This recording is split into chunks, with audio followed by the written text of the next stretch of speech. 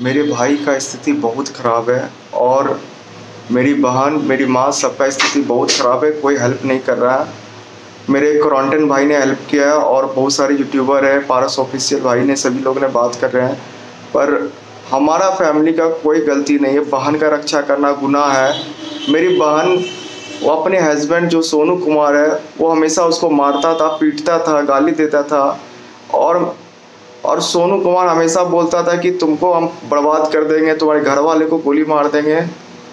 तो सोनू कुमार, मेरी दीदी जो थी, वो बोलती थी, मैं आपके साथ नहीं रह पाऊँगी, आप मेरे ऐसे करते हैं। तो सोनू कुमार हमेशा उसको बोलता था, तुम्हारे परिवार को बर्बाद कर देंगे, चलो तुम मेरे साथ ज़बरदस्ती लेके चलेंगे तो झोटा पकड़ के लेके जाएँगे।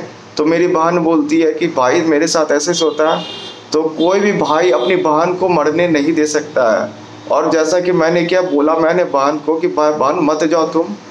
तुम रहो यहाँ पे, कोई दिक्कत नहीं है, हम समझाएँगे उन्हें।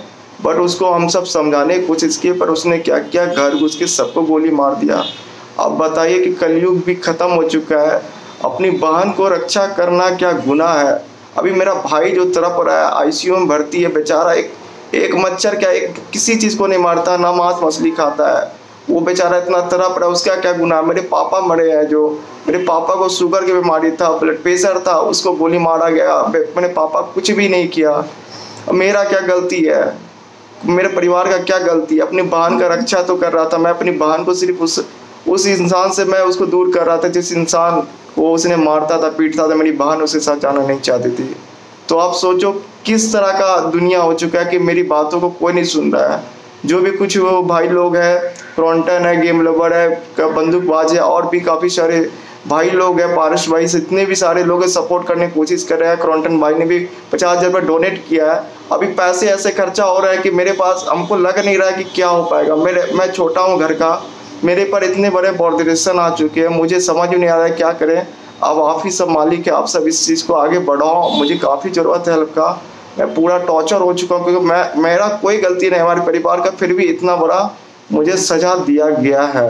तो गाइस आप सब कुछ देखो समझो और आगे फैसला लो आगे क्या हो सकता है। क्योंकि मैं चार दिन से यहाँ सर्वाइव कर रहा हूँ।